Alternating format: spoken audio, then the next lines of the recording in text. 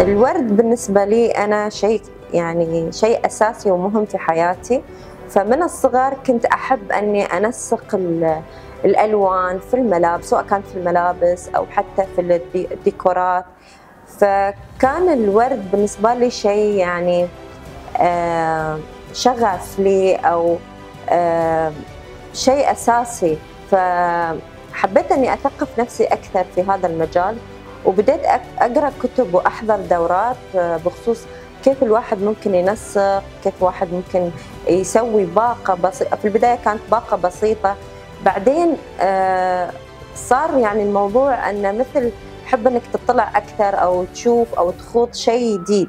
فكل ما دخلت أكثر في هذا المجال كل ما كانت التحديات أقل. طبعا من خلال التجارب أو من خلال قراءتي أكثر عن الورد حبيت أني أخذ أسوي جولات حول الإمارات زيارة المزارع بديت أتعرف أكثر على الموردين سواء كانوا داخل الدولة أو خارج الدولة.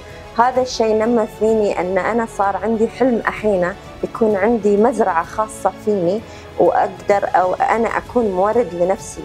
فبدينا نبحث بدينا نقرأ صارت أسامي الورود كلها تقريبا أعرفها. أستانس أو أفرح وايد لما حد يسألني في الورد وأكون عارفة الجواب على طول.